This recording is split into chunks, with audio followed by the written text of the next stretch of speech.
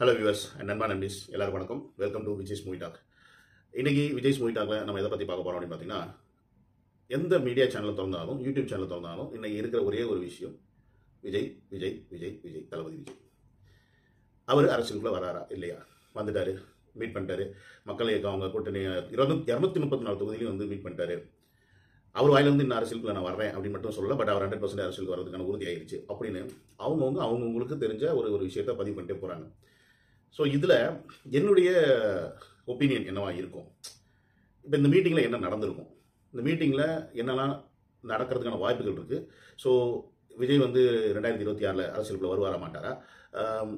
படம் இதோட அடுத்த வெங்கட் பிரபு படத்தோட நிற்க போதா இல்லையா? ப்ளஸ் அரசியலுக்குள்ள வர மாதிரி இருந்தால் அவர் என்ன மாதிரியான ஸ்ட்ராட்டஜிஸ்லாம் யூஸ் பண்ணுவார்? ஸோ அப்படின்றது தான் இந்த வீடியோவில் என்னோட பாயிண்ட் ஆஃப் வியூவில் சில தகவல்கள் நம்ம கேதர் பண்ணது மூலியமாகவும் என் மைண்டில் ஒரு விஜயோட இத்தனை வருஷம் நம்ம விஷயங்கள் பார்த்துருக்கோம் அதை வச்சுன ஒரு ஐடியாவில் இந்த வீடியோ நான் பதிவு பண்ணுறேன் and first of all I would like to thank you guys நான் நேற்று ஒரு வீடியோவில் வந்து என்ன மாதிரி வீடியோஸ் போட்டால் உங்களுக்கு பிடிக்குன்னு நிறைய பேர் சஜஸ்ட் பண்ணியிருந்தீங்க சில தமிழ்லாம் பண்ணியிருந்தாங்க. உங்களுடைய எல்லா சஜஷனும் வரவேற்கத்தக்கது. அது சில பேர் ஃபுல்லாக பண்ணுங்க ட்ராவல் பண்ணுங்க அந்த மாதிரிலாம் போட்டிருந்தீங்க. என்னோட சேனல்ஸில் இதெல்லாம் நான் ஆல்ரெடி நிறைய வாட்டி பண்ணியிருக்கேன் பட் ஸ்டில் என்னுடைய சேனலில் ஒரே ஒரு காம்ப்ளிகேஷன் என்ன அப்படின்னு பார்த்தீங்கன்னா நான் திருப்பி சொல்கிறேன் நான் துபாயில் இருக்கேன். அண்ட் என்னுடைய எடிட்டர் சென்னையில் இருக்கார். ஸோ எங்களுடைய ஒர்க் எப்படி போயிட்டு இருக்கு அப்படின்னு பார்த்தீங்கன்னா நான் ரெக்கார்ட் பண்ணி அங்கே அனுப்புவேன் அதுக்கப்புறம் அவர் எடிட் பண்ணி போடுவார். பட் லாஸ்ட் டூ த்ரீ டேஸாக நானே தான் பண்ணிட்டு இருக்கேன். ஏன்னா அவர் கொஞ்சம் பிஸியாக இருக்காருங்க. ஸோ அந்த மாதிரி சில விஷயங்கள்லாம் இனி ஃபியூச்சரில் நான் ட்ரை பண்ணலாம். பட் ரைட் நவ் இந்த மாதிரி content like you know social topics and some other issues வேறு ஏதாவது தளபதி டாபிக் இந்த மாதிரி இஷ்யூஸ் மட்டும் இருந்துச்சு அப்படின்னா எனக்கு கம்ஃபர்டபுளாக இருக்கும். இருந்தமா அதை பற்றி நம்ம வீடியோஸ் போட்டோமா நீங்களும் அதை பற்றி தெரிஞ்சுப்பீங்க அப்படின்ற அந்த கான்செப்ட்குள்ளே முடிஞ்சிடும் ஸோ ஐ திங்க் uh, உங்களோட சஜஷன்ஸ் வரவேற்கப்படுது அண்ட் ரைட் நவு நான் இந்த கேட்டகரியில் என்னெல்லாம் பண்ணால் என்ன பெட்டராக இருக்கும் அப்படின்றது வந்து நீங்கள் சொல்லுங்கள் ஸோ மோர் வீடியோ சப்போர்ட் விஜயா இல்லை more video support something else அதை சஜஸ்ட் பண்ணுங்க then I will go for it என்னோட சேனலுக்கு நீங்கள் um, தான் ஃபஸ்ட் டைம் வரீங்க அப்படின்னா சப்ஸ்கிரைப் பண்ணிடுங்க அண்ட் மறக்காமல் ஷேர் பண்ணிடுங்க. தளபதி ஃபேன்ஸ் நீங்கள் தான் எனக்கு வந்து இப்போ பெரிய ஆதரவு கொடுத்துருக்கீங்க. ஸோ உங்களுடைய இந்த அரவணைப்பு வந்து மேலும் மேலும் தொடரணும் அப்படின்னு நான் கேட்டுக்கிறேன். வாங்க வீடியோக்குள்ளே போவோம். என்ன மாதிரியான விஷயங்கள்லாம் செய்ய போகிறாரு தளபதி நெக்ஸ்ட் த்ரீ இயர்ஸ் அப்படின்றது இந்த வீடியோவில் பார்ப்போம். Let's go inside okay so first பாயிண்டாக நான் எதை கன்சிடர் பண்ணுறேன்னா இந்த மீட்டிங் எதை பேஸ் பண்ணி நடந்துச்சு? அஃப்கோர்ஸ் இந்த மீட்டிங் எதை நடந்துச்சுன்னு சொல்கிறாங்கன்னா இந்த பல்ல டென்த்து கிளாஸுக்கும் ப்ளஸ் ப்ளஸ் டூ ஸ்டாண்டர்டுக்கும் பரிசுலாம் வழங்கினார்ல தளபதி. ஸோ அவங்க தொண்டர்கள் வந்து நிறைய பேர் மீன்ஸ் ஃபேன்ஸ் வந்து நிறைய பேர் விஜய் அவர் கூட ஃபோட்டோ எடுக்கணும்னு ஆசைப்பட்டாங்க. பட் அந்த ப்ரோக்ராம் வந்து ஒரு த்ரீ ஃபோர் ஹவர்ஸ் பிளான் பண்ணி இந்த program like twelve thirteen hours ஆனனால Thalapathy அவர்கள் ப்ரோக்ராம் முடிச்சுன்னு போயிட்டாரு. நிறைய பேர் ஃபேன்ஸ் ஃபோட்டோ எடுக்க முடியல ஸோ டிசப்பாயின்மெண்ட் ஆகிட்டாங்க ஸோ அதனால அவங்கள வந்து கூப்பிட்டு கௌரவிக்கிற விதமாகவும் ஏன்னா அந்த ப்ரோக்ராம் ரொம்ப ஆர்கனைஸ்டாக பண்ணியிருந்தாங்க. ஸோ எந்த ஒரு சலசலப்பும் பிரச்சனைகளும் இல்லாமல் அந்த ப்ரோக்ராம் பண்ணி கொடுத்த அந்த நிர் சங்க அவருடைய மக்கள் இயக்கம் நிர்வாகிகளுக்கும் எல்லா ஃபேன்ஸுக்கும் ஒரு ட்ரீட் வச்சு அவங்களுக்கு கொடுக்கணும் அப்படின்றதுக்காக மீன்ஸ் அவங்க மதிக்கணும் அப்படின்றதுக்காக இந்த விசேஷம் இந்த ஒரு சந்திப்பு வந்து நடந்ததாக வந்து சொன்னாலும் ஹண்ட்ரட் பர்சன்டேஜ் இதில் வந்து பாலிடிக்ஸான விஷயம் இருக்கான்னு கேட்டால் ஹண்ட்ரட் பர்சன்டேஜ் இருக்குது அப்படின்னு தான் சொல்லி ஆகணும். Because there is politics talk already வந்துருச்சு. ஏன்னா ஒன்ஸ் அவர் அந்த ஸ்கூல் பசங்களை கூப்பிட்டு அவர் அந்த அரசியல் டாபிக் சொல்லும் போதே is already decided that is going to be enter into the politics அவர் வாயிலிருந்து சொல்லலைனாலும் அவர் வந்து பாலிடிக்ஸில் வர்றது அது நூறு சதவீதம் உண்மை. அதில் எந்த ஒரு மாற்று கருத்துமே கிடையாது. பட் எப்போ வர்றாரு அப்படின்றது தான் இங்கே கொஸ்டின் எல்லாருக்குமே.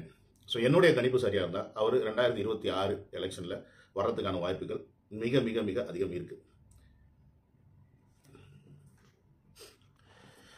சரி கைஸ் இது சிங்கிள் டேக் வீடியோ இருக்கும். அதனால் நிறைய பாசஸ் வந்துச்சுன்னா கொஞ்சம் பார்த்துங்க பொறுத்துக்குங்க. ஏன் இருக்கும் அப்படின்னு சொல்லிட்டீங்கன்னா அது நான் ஒரு சில பாயிண்ட்ஸ்லாம் நோட் பண்ணி வச்சிருக்கேன் ஓகேங்களா ஸோ அவரை பற்றின ஸோ ஃபஸ்ட் பாயிண்ட் நம்ம என்ன பண்ணணும்னா விஜய் ஃபிலிம் இண்டஸ்ட்ரி விட்டு போயிடுவாரா அப்படின்ற மாதிரி கேட்குறாங்க இந்த படத்துக்கு அப்புறம்.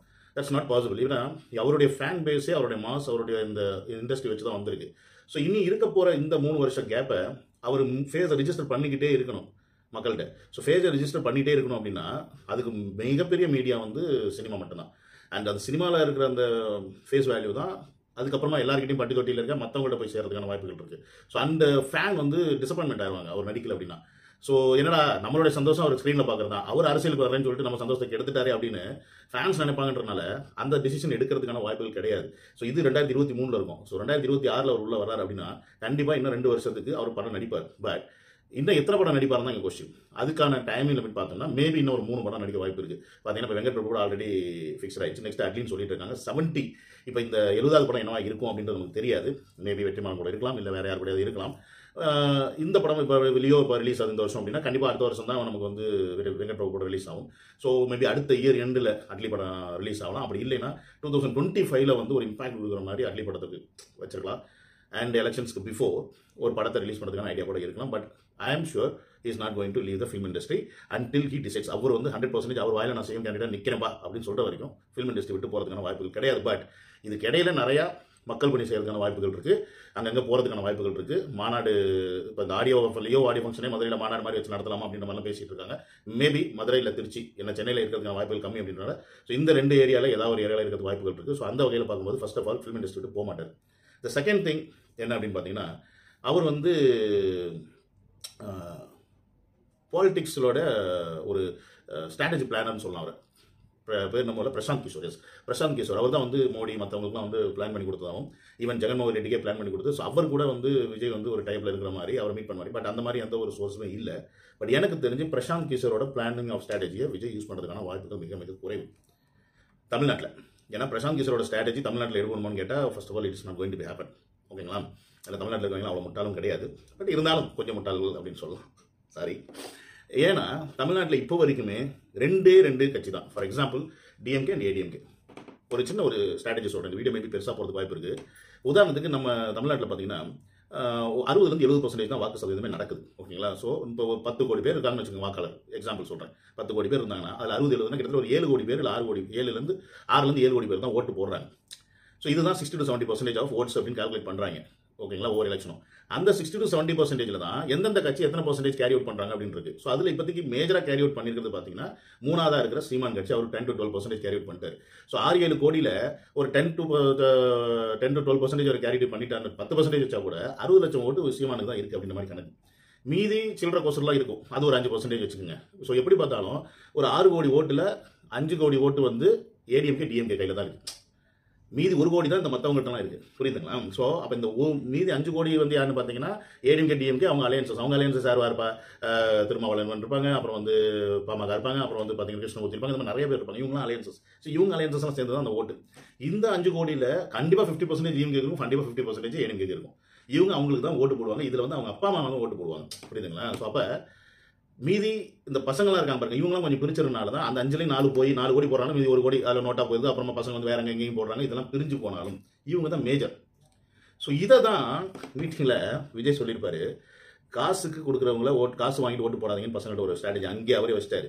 Is not required any other strategy person Prashant Kishor மாதிரி ஒரு ஸ்ட்ராட்டஜி பர்சன் விஜய் தேவையில்லை. இஸ் ஆல்ரெடி ஹேவிங் ஸ்ட்ராட்டஜி பசங்கள்ட்ட என்ன சொல்றாரு அந்த மீட்டிங்கில் உங்கள் அப்பா அம்மாட்ட சொல்லுங்கள் ஓட்டுக்கு காசு வாங்காதீங்கன்னு சொல்லுங்க. அப்படின்னும் போது ஓட்டுக்கு காசு வாங்கினா காசு யார் கொடுக்குறா? அப்கோர்ஸ் இந்த ரெண்டு மேஜர் கட்சி கொடுக்குது. ஸோ இவங்கள்ட்ட காசு வாங்காதீங்க. வீட்டில் இருக்க பிள்ளைங்க வந்து நீங்கள் விஜய் தான் போடணும் அப்படின்னா நாம போடுறோமான்னு சொல்லிட்டு அவங்க போய் மாற்றி போடுறதுக்கு வாய்ப்பு இருக்கு. பட் ஆம்பளைங்க வேணா அப்படி பண்ணலாம். லேடிஸ் பிள்ளைங்களுக்காக போடுறதுக்கான வாய்ப்பு இருக்கு. ஸோ அங்கேயே ஒரு ஸ்ட்ராட்டஜி வந்து வச்சுட்டாப்ல விஜய். ஸோ அப்படின்னும் போது அவரோட ஸ்ட்ராட்டஜி டோட்டலி டிஃப்ரெண்டாக இருக்கிறனால அவருக்கு இந்த பிரசாந்த் கிஷோர் மாதிரி ஆளுங்கலாம் தேவைப்பட மாட்டேன் அண்ட் பிரசாந்த் கிஷோரை விலைக்கு வாங்குறதுக்கு இவரோட பெரிய ஆளுங்களாம் இருக்கிறாங்க. விஜயோட. ஸோ விஜய் கூட இருந்து விஜய் கவுத்து விடுன்னு சொல்றதுக்கு கூட ஆளுங்க இருக்கிறாங்க. ஓகேங்களா? ஸோ அதை வந்து அந்த மாதிரியும் பண்ண முடியுன்றனால வெளியிலேருந்து எடுத்து உள்ளே வச்சு குத்திக்க மாட்டாப்புல.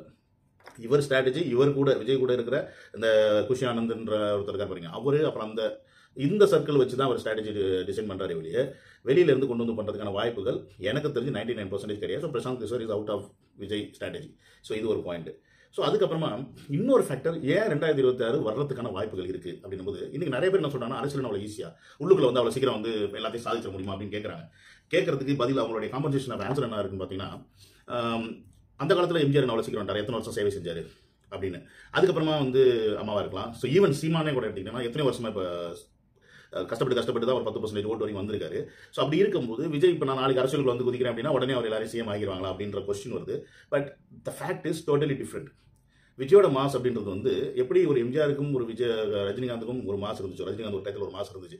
அப்போ அஃப்கோர்ஸ் ஐம் ஃப்ரம் நைன்டிஸ் சொல்லும் போது அந்த டயத்துலலாம் ரஜினிகாந்த் வந்திருந்தாருன்னா அவர் ஓட்டு போட்டிருப்போம் ஓகேங்களா பட் அவர் மிஸ் அவுட் பண்ணிட்டு போயிட்டார். ஸோ அப்படி இருக்கும்போது விஜய்க்கான ஒரு ஃபேன் ஃபாலோ பேஸ் இருக்கு. அண்ட் விஜய் எவ்ரிபடி லைக்ஸ் லேடிஸ்லாம் அவருக்கு ரொம்ப பிடிக்கும். ஸோ அவங்க லேடிஸ் வந்து அவங்களுக்கு விஜய்னா பிடிக்காம ஆளே கிடையாது. ஸோ இன்றைக்கி இருக்க ஸ்கூல் கிட்ஸ்லேருந்து இருந்து ஒரு குறிப்பிட்ட வயசு வரைக்கும் எல்லாருக்குமே பிடிக்குது.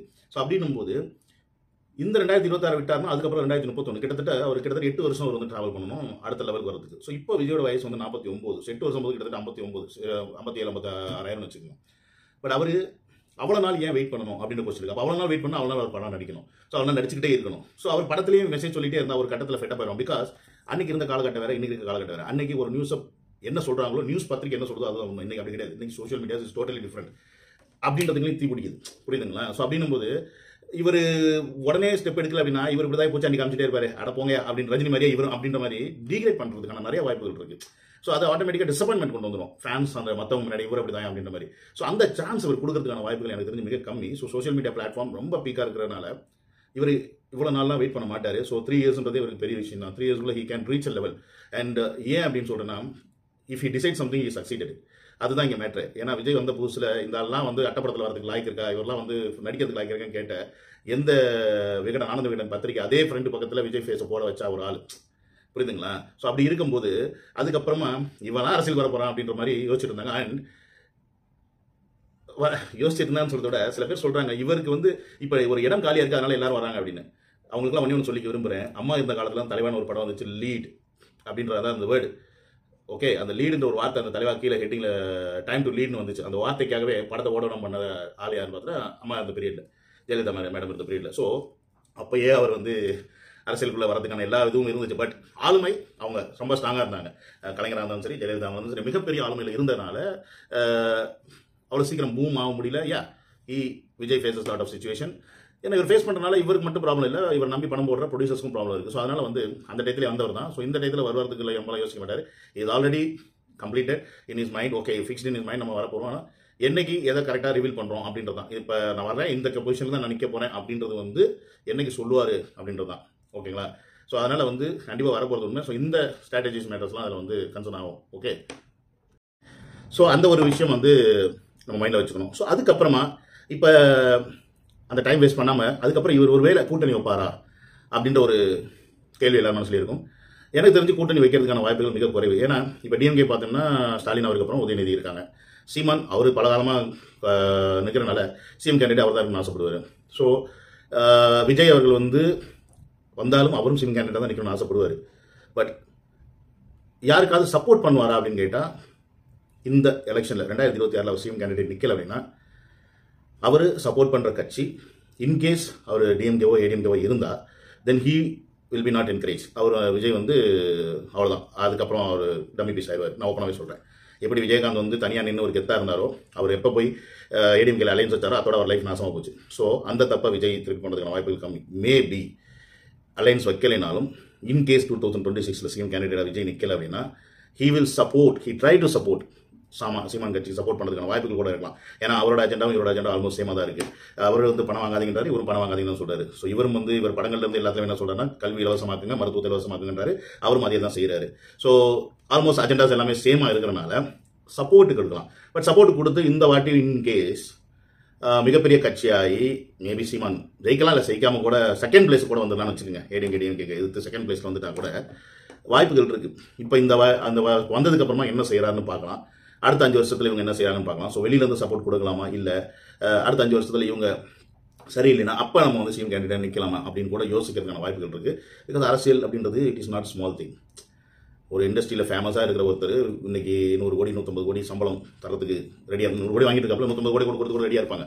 ஸோ அந்த அளவுக்கு ஒரு லெவலில் இருக்க ஒருத்தர் அரசியலுக்குள்ள வர்றாரு அப்படின்னா அவர் வந்து எப்படி சினிமா இண்டஸ்ட்ரியில் பேரை காப்பாற்றிட்டாரோ அதே பேரை காப்பாற்றிக்கணும்னு தான் நினைப்பாங்களே வழியே அதை கெடுத்துக்க கூடாதுன்னு வரமாட்டாங்க நினைக்க மாட்டாங்க. ஸோ ரஜினிகாந்த் வராததுக்கு ரீசனும் அதுதான். ஈ சேட் என்னால் நான் விஷயங்கள் செய்யலாம் செய்ய முடியாமல் போகும். அதனால தான் நான் வரல அப்படின்னு. ஏன்னா படத்தில் ஈஸியாக செஞ்சிடலாம். ஹீரோ கதை அப்படின்ற மாதிரி. பட் நிஜத்தில் செய்யணும் அப்படின்னா it is not so easy அதுக்கு மிகப்பெரிய எதிர்ப்புகளை சம்பாதிக்கணும். அண்ட் மிகப்பெரிய அதுக்கு சப்போர்ட் இருக்கணும். இதெல்லாம் இருந்தால் மட்டும்தான் செய்ய முடியும். நல்லதே செஞ்சாலும் தப்புன்னு சொல்லுவாங்க. ஏன்னா நம்ம அப்படிதான். நம்ம அப்படி தான் நல்லதே செஞ்சாலும் தப்புன்னு சொல்லுவோம். ஸோ அதனால் இவ்வளோ விஷயங்கள் இருக்குது இதனால் இந்த கூட்டணி விஷயத்தை வந்து அவ்வளோ சீக்கிரம் டிசிஷன் எடுக்க மாட்டார் விஜய். மேபி அவரும் தனியாக நிற்கலாம் பட் இந்த தனியாக நிற்கிறனால என்ன ஒரு பிரச்சனை அப்படின்னு பார்த்தீங்கன்னா ஓட்டுகள் தான் பிரியுமே ஒழிய ஓட்டுகள் வெறுப்பு ஓட்டுகள் பிரியும் சாமா சீமான் ஓட்டுகள் பிரியும் எல்லாருக்கும் ஓட்டுகள் பிரியும். கடைசியில் யாருக்கு நிறையா ஓட்டுகள் அவங்க ஜெயிக்க போகிறாங்க but there is one more advantage அந்த லிஸ்ட் சிந்தலியா போயிருச்சு அப்படின்னா ஒரு கட்டத்தில் ஏடிஎம்கே இருந்தாலும் சரி டிஎம்கே இருந்தாலும் சரி இவங்க இல்லாமல் ஆட்சி அமைக்க முடியாதுன்னு ஒரு கட்டம் வருது அப்படின்னா அது விஜயோ இல்லை சீமானோ அவங்க சைடில் இந்த மாதிரி அமை அந்த மாதிரி ஒரு விஷயம் நடக்குது அப்படின்னா that is the most important thing அதுக்கான அடியாக கூட ரெண்டாயிரத்தி இருபத்தி ஆறு இருக்கலாம்.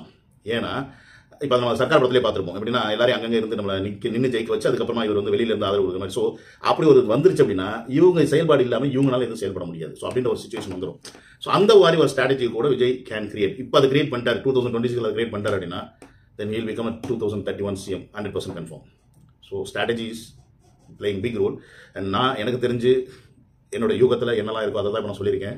மேபி விஜயோட ஸ்ட்ராட்டஜி இதோ கூட இருக்கலாம் இதை விட இன்னும் பயங்கரமாக இருக்கலாம். என் பேரும் விஜய்னால ஒரு வேலை நான் இந்த மாதிரிலாம் யோசிக்கிறேன்னு தெரியல. ஸோ அவர் எப்படி யோசிக்கிறான்னு அவருக்கு தான் தெரியும். என்னோட யோசனைகள் என்னுடைய கருத்துக்கள் வரப்போகிற இந்த மூன்று வருட காலம் பார்ப்பான். பார்ப்போம் இந்த சேனலில் இந்த வீடியோ இருக்க போது. ஓகே அன்னைக்கு எடுத்து போட்டு திருப்பி பார்ப்போம். அன்றே கணித்த விஜய் அப்படின்னு சொல்லி நான் திருப்பி இன்னொரு வீடியோ கூட போடலாம்.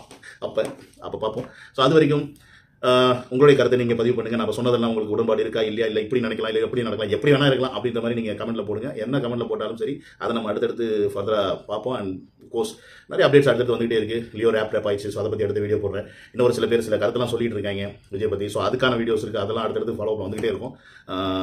அது விஜய் கொடுக்குற பதிலாக இருக்காது. விஜய் இடத்துல இருந்து நான் கொடுக்குற பதிலாக இருக்கும். So don't miss out continues உங்களுக்கு வந்து என்டர்டைன்மெண்ட் அண்ட் ட்ரீட் இருக்குது of course I have some medical issues also இருந்தாலும் கேப்ஸ் கொஞ்சம் வரலாம். அந்த கேப்ஸ் வந்தாலும் கண்டினியூஸ் என்னோட வீடியோஸ் வந்துட்டு இருக்கும். உங்களுடைய சப்போர்ட் எனக்கு கொடுத்துட்டே இருங்க. And course what else I need அடுத்த வீடியோவில் உங்களை மீட் பண்ணுறேன் இந்த வீடியோ கொஞ்சம் லென்த்தாக இருந்தாலும் வேறு வழி இல்லை. ஏன்னா தலைவதி பற்றி பேச ஆரம்பிச்சாவே போயினே இருக்குது. அது நான் என்ன பண்ணுறது ஓகே ஸோ சி ஆன் அந்த video and love you guys மறக்காமல் சப்ஸ்கிரைப் பண்ணிடுங்க. அண்ட் ஷேர் பண்ணிடுங்க. அந்த பெல் பட்டன் ப்ரெஸ் பண்ணிடுங்க. பை